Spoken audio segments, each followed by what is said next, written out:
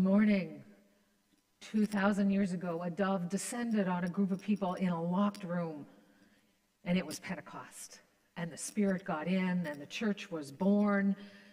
Welcome, welcome, welcome to worship on this Pentecost Sunday.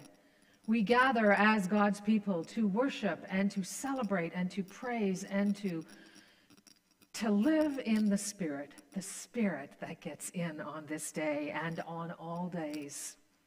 And so, as we come into this time of worship, the flame burns bright in our midst.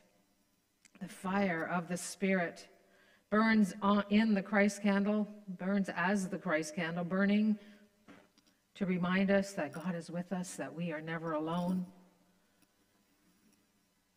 that God gets in. And we remember that we are part of a tradition. And we acknowledge the traditional territories of the Anishinaabe Nation the peoples of the three fires, known as the Ojibwe and the Potawatomi and the Ottawa.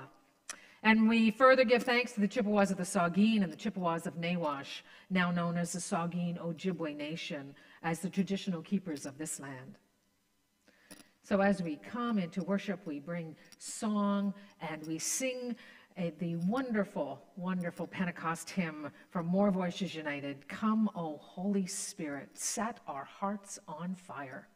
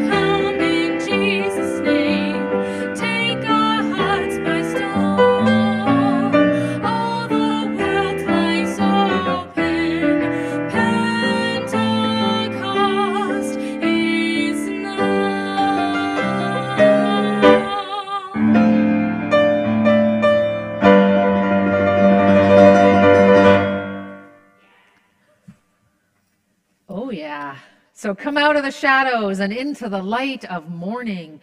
Come, empty and depleted, but to be filled by God's Spirit. Come sober in sorrow and leave drunk with joy.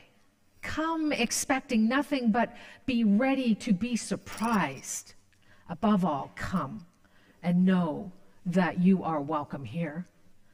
Let us pray. Help us, O God, to see your technicolor spirit blowing through our lives, lighting up the darkness, bringing color to grayness, a constant rainbow, reminding us of your love and care and promise, and that you are with us every day. Amen. Trudy will now read our Pentecost stories, beginning in the Valley of the Dry Bones.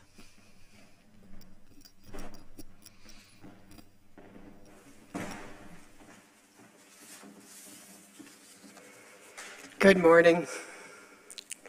The first reading this morning is from Ezekiel 37, 1 to 14.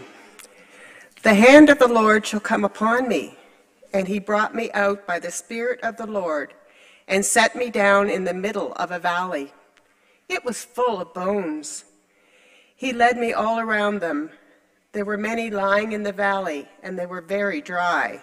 He said to me, Mortal, can these bones live? I answered, O Lord God, you know. Then he said to me, Prophesy to these bones and say to them, O dry bones, hear the word of the Lord. Thus says the Lord God to these bones I will cause breath to enter you, and you shall live. I will lay sinews on you, and will cause flesh to come upon you, and cover you with skin, and put breath in you and you shall live, and you shall know that I am the Lord. So I prophesied as I had been commanded, and as I prophesied, suddenly there was a noise, a rattling, and the bones came together, bone to its bone. I looked, and there were sinews on them, and flesh had come upon them, and skin had covered them, but there was no breath in them.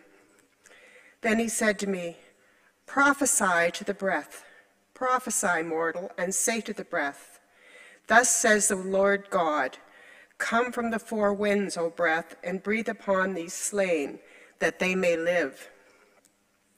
I prophesied as he commanded me, and the breath came into them, and they lived, and stood on their feet, a vast multitude. Then he said to me, Mortal, these bones are the whole house of Israel. They say, Our bones are dried up, our hope is lost, and we are cut off completely. Therefore prophesy and say to them, Thus says the Lord God, I am going to open your graves and bring you up from your graves, O my people, and I will bring you back to the land of Israel. And you shall know that I am the Lord when I open your graves and bring you up from your graves, O my people. I will put my spirit within you and you shall live, and I will place you on your own soil. Then you shall know that I, the Lord God, have spoken and will act, says the Lord. The psalm selection this morning is Psalm 104, and we're going to sing refrain 2, part 2, 24 to 35.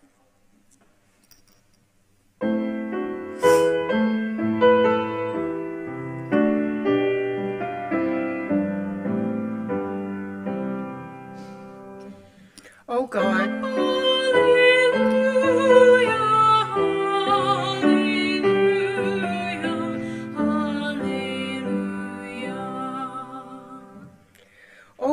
how manifold are your works. With wisdom at your side, you made them all. The earth is full of your creatures.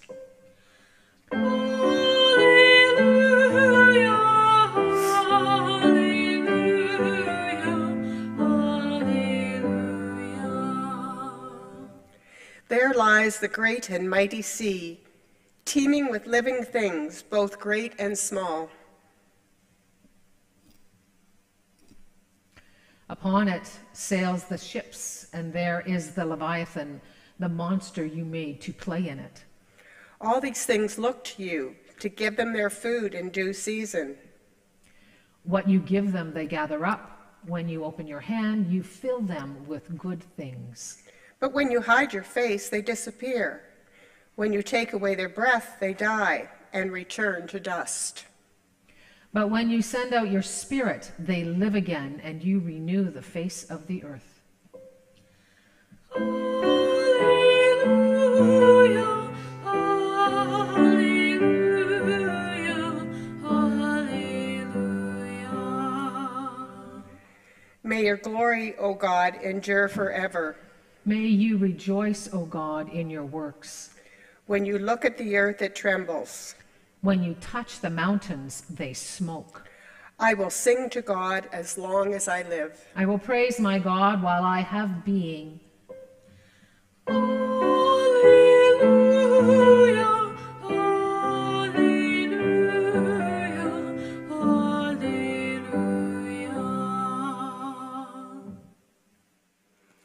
The second reading for today is from Acts 2 1 to 21. When the day of Pentecost had come, they were all together in one place, and suddenly from heaven there came a sound like the rush of a violent wind, and it filled the entire house where they were sitting. Divided tongues as of fire appeared among them, and a tongue rested on each of them. All of them were filled with the Holy Spirit and began to speak in other languages as the Spirit gave them ability. Now there were devout Jews from every nation under heaven living in Jerusalem. And at this sound the crowd gathered and was bewildered, because each one heard them speaking in the native language of each. Amazed and astonished, they asked, Are not all these who are speaking Galileans? And how is it that we hear, each of us, in our own native language? Parthians, Medes, Elamites, and residents of Mesopotamia, Judea, and Cappadocia, Pontus and Asia, Phrygia and Pamphylia, Egypt and the parts of Libya belonging to Cyrene, and visitors from Rome, both Jews and proselytes, Cretans and Arabs. In our own languages, we hear them speaking about God's deeds of power. All were amazed and perplexed, saying to one another, What does this mean? But others sneered and said, They, filled, they are filled with new wine. But Peter, standing in the, with the eleven, raised his voice and addressed them Men of Judea and all who live in Jerusalem, let this be known to you, and listen to what I say. Indeed, these are not drunk, as you suppose, for it's only nine o'clock in the morning. No, this is what was spoken through the prophet Joel. In the last days it will be, God declares that I pour out my spirit upon all flesh, and you sons and daughters shall prophesy, and your young men shall see visions, and your old men shall dream dreams. Even upon my slaves, both men and women in those days, I will pour out my spirit, and they shall prophesy. And I will show portents in the heaven above, and signs on the earth below, and fire and smoky mist. The sun shall be turned to darkness, and the moon to blood, before the coming of the Lord's great and glorious day. Then everyone who calls on the name of the Lord shall be saved.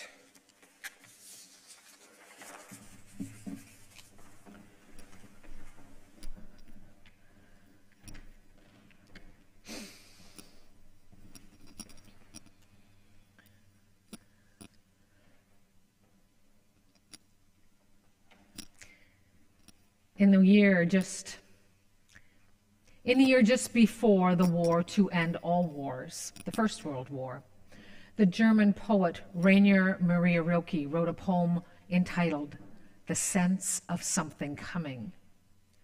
This poem reads like prophecy. I am like a flag in the center of open space. I sense ahead the wind which is coming and must live it through. While the things of the world still do not move, the doors still close softly, and the chimneys are full of silence, and the windows do not rattle yet. and the dust still lies down. Yet, I'm sure that all of you have experienced that sense of something coming. We are in the midst of living it right now in these COVID times. What's next? When will it be over? Are the kids ever going back to school?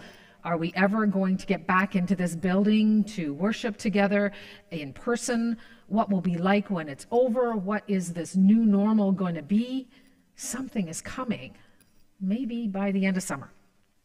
We are waiting for something that is just ahead on the horizon, or maybe for the other shoe to drop, or the calm before the storm.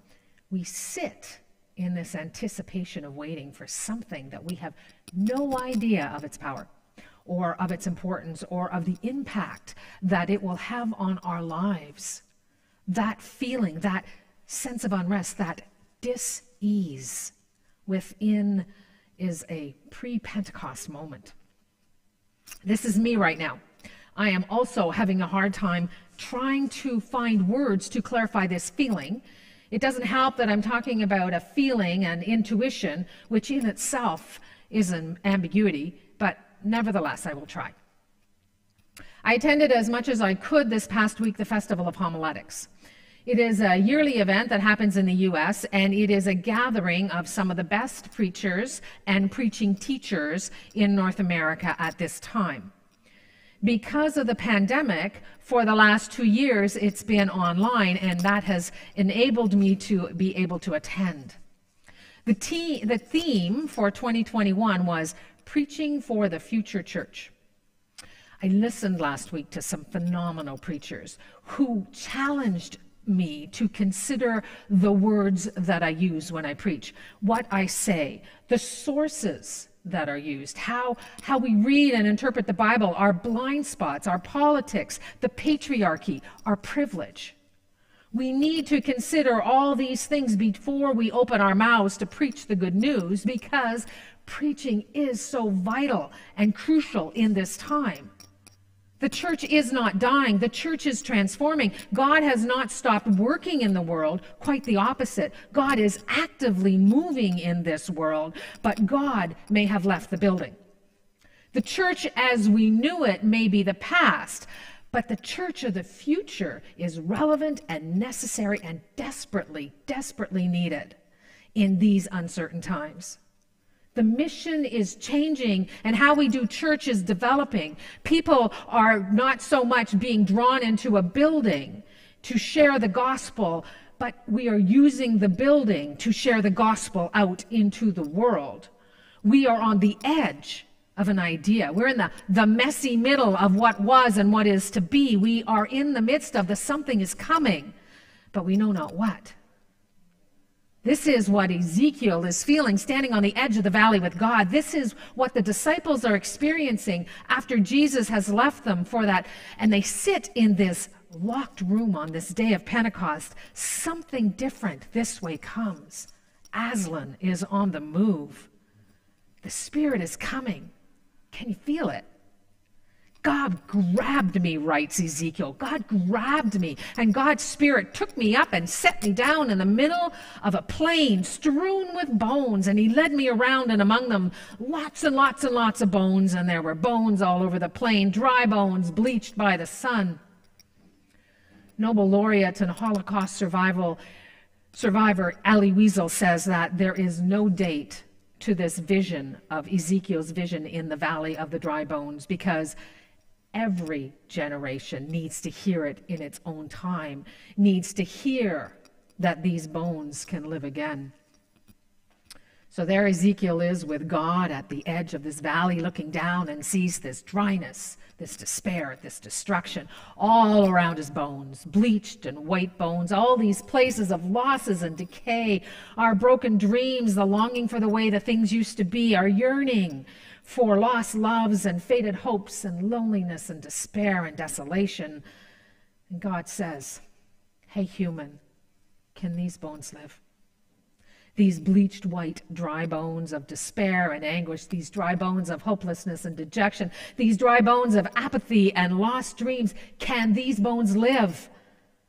And God says, Hey, human, prophesy Prophesy to these bones. Say to them, Bones, listen, hear God's voice. It is calling you, dry bones. Hear God's song. It is singing to you the song of God. Dry bones, hear God's message. Breath of life, come into these bones. And whoosh, the breath of God blows over the valley and roar. The breath of God forms and transforms these bones and brings them new life. And God says to Ezekiel, Human, these bones are the whole house of Israel. Listen to what they're saying. Our bones are dried up. Our hope is gone. There is nothing left to us.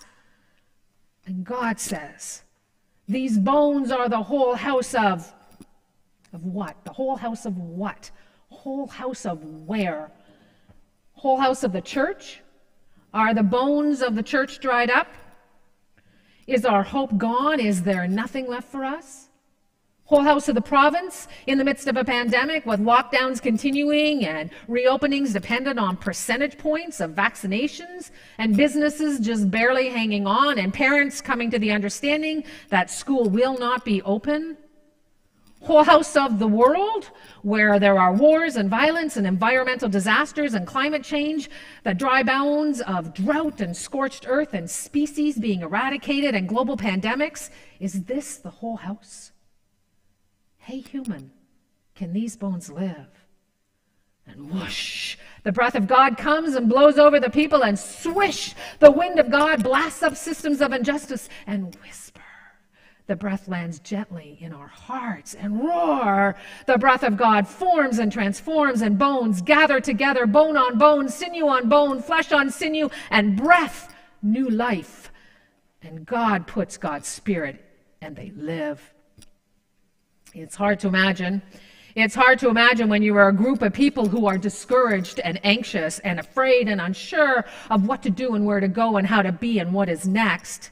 It's hard to imagine very much of anything, but this is where we join the disciples this morning in a locked room in Jerusalem, waiting for what they do not know, like Ezekiel, on the edge of something, waiting for what's next. The something's coming, and then whoosh, the breath of God blows in the room and roar. The breath of God forms and transforms the disciples, and the Spirit whirls them all out into new life. And to the ones in that room on that day of Pentecost, God put God's Spirit within them, and they lived.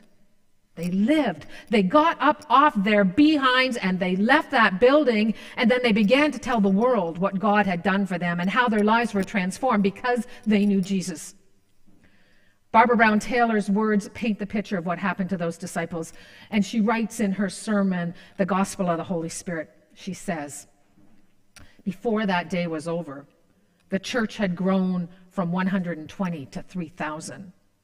Shy people became bold, scared people became gutsy, and lost people found a sense of direction. Disciples who had not believed themselves capable of tying their own sandals without Jesus discovered abilities within themselves they never knew they had. When they opened their mouths to speak, they sounded like Jesus. When they laid their hands on the sick, it was like Jesus himself had touched them. In short order, they were doing things that they had never seen anyone else but him do. There was no explanation for it except that they had inhaled on that Pentecost. They had sucked in God's own breath and they had been transformed by it. And the Holy Spirit entered them. You know, the world around them did not appear to change. The Roman Empire was still in control, and all of the crazy drama that the white males jockeying for power was about was in full play. Patriarchy still had a firm grip on the powers that be. Women, children, the infirm, the disabled, LGBTQ, enslaved still lived on the margins, denied even their personhood. The religious majority did not release its hold on power. Instead, they doubled down and they began to persecute and arrest and eventually execute a good portion of those 120 people who, were, who had sucked in God's own breath on that tumultuous day of Pentecost. The world did not change, and yet it did and the world was never the same again. Somehow, some way, those spirit driven women and men, those God breathing people, somehow managed to spread the gospel of Jesus Christ around the ancient Mediterranean world so that within 50 years, Christianity, what this new way was about to be called, was firmly entrenched in the culture, albeit as a fringe organization. But within 300 years, it was declared, as a state religion. Now, careful here, I am not preaching that God got into the world in an institution. I think what I'm saying, though, is that God got into the world in spite of that institution. And God got into the world in a new way, which is the precipice we stand on today. Hey, human, can these bones live? Prophesy to the born, prophesy to the bones. Say to the bones, You know that the God, that I am the Lord, and when I open the graves, I will bring you up from my graves, O my people. I will put my spirit within you. Prophesy to the bones. Hey, disciples, you there in that locked room, can you leave your fears and your anxieties behind and prophesy to the bones? God declares that I will pour out my spirit upon all flesh, and your sons and your daughters shall prophesy, and your young men shall see visions, and your old men shall dream dreams. Hey, human, can these dry bones live? We stand as a flag in the center of an open space. Whoosh! The breath of God blows over the people and roar. The breath of God forms and transforms the bones and gathers them together, bone on bone, sinew on bone, flesh on sinew, and breath. Breath, the breath of God, and new life emerges. May it be so in this time as well. Amen.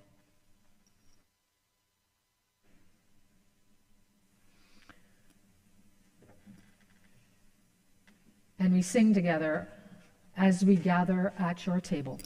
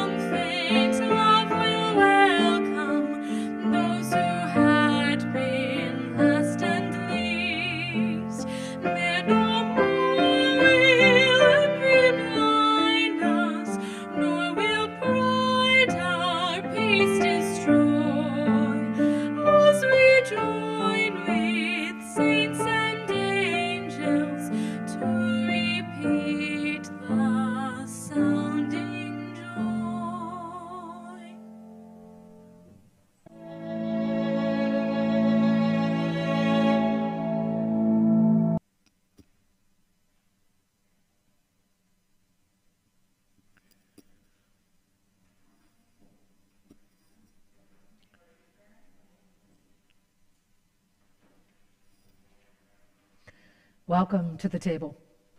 I invite you now, if you have not gone, to get some bread and some juice. It doesn't matter what kind. It's symbolic, symbolic of the meal that Jesus shared with his disciples, and all are welcome to share in this meal. The table is not the table of the United Church of Canada or the table of Southampton United Church. The table is God's, and all God's beloved are welcome to share in this feast. So come to this table where bread and cup are transformed by the Spirit of God into a meal of love and grace, a supper of visions and dreams, a table where all are welcome. Let us pray. Loving God, whose divine lungs inhaled the Spirit into our world, your breath continues to transform our world. From the still to the stirring, before the earth was formed, the Spirit of God swirled through the voids and shadows. As humans were created, the air of God filled the lungs of Adam and the soul of Eve. This divine air continues to fill us up when our bones are dry and our spirits are sluggish. On this day of Pentecost, when we celebrate the breath of the Spirit coming upon the disciples, we invite the Spirit to come upon these elements. God of winds, pour out your Spirit to make the elements come alive for us. Make this meal awaken our sleepy hearts and stagnant souls. May this time of eating and drinking be where we stir up from our sadness and rise up from our hopelessness. May we begin to celebrate visions and animate the dreams that have only been alive in our minds.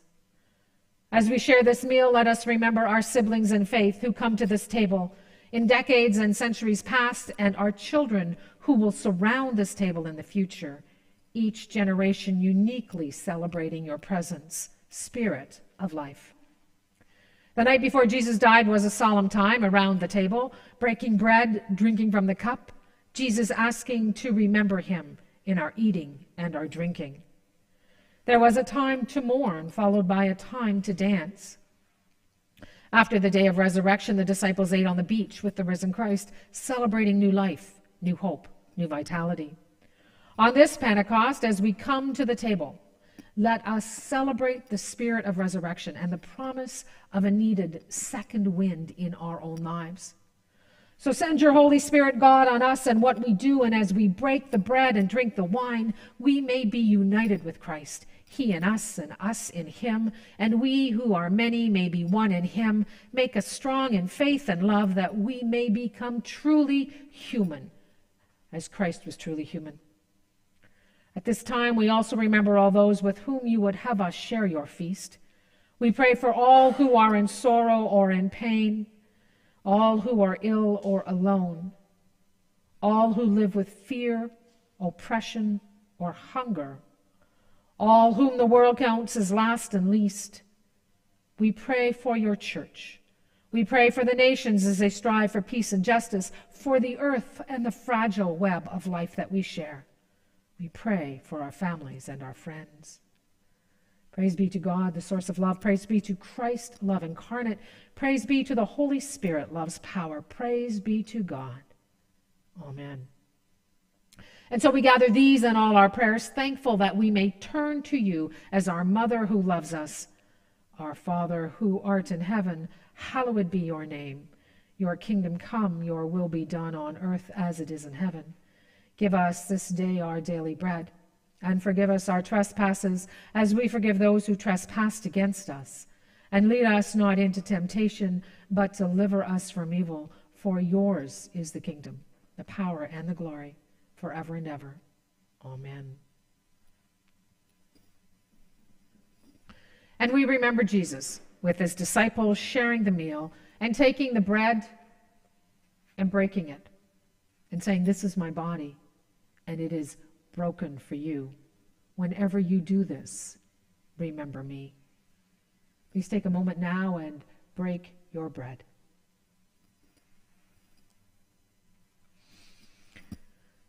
And when the meal was over, Jesus took the cup and he filled it full of the fruit of the vine. I invite you to do the same. And then with your bread and your cup,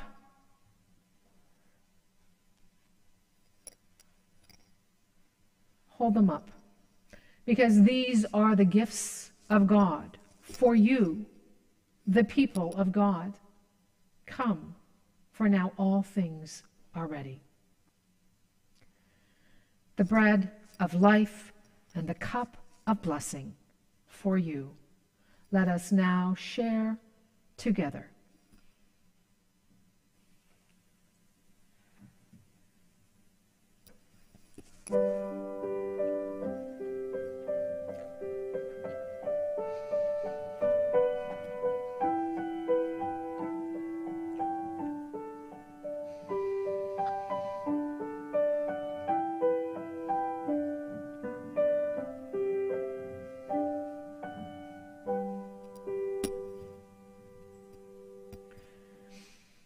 We pray. Spirit of God, who fed the multitudes, provided the manna in the wilderness, and blessed the elements, we give great thanks for the meal eaten and the company surrounding us in the virtual world. Inspire us as we move forward this day and encourage us to transform our dreams into reality. We pray this in the name of Jesus. Amen.